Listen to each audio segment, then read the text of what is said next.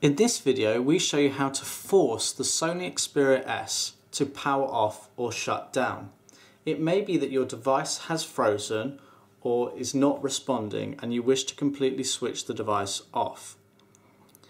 Now we can't recreate this device crashing for you for this demonstration but assuming it had, pick up your device, press and hold the power button on the top of the phone and also press and hold the volume up button on the side of the phone at the same time as the power button. Press and hold them both for a period of 10 seconds. You'll feel the device vibrate and it will switch off like so. It will then automatically reboot and any freezing or problems you had should now have gone away.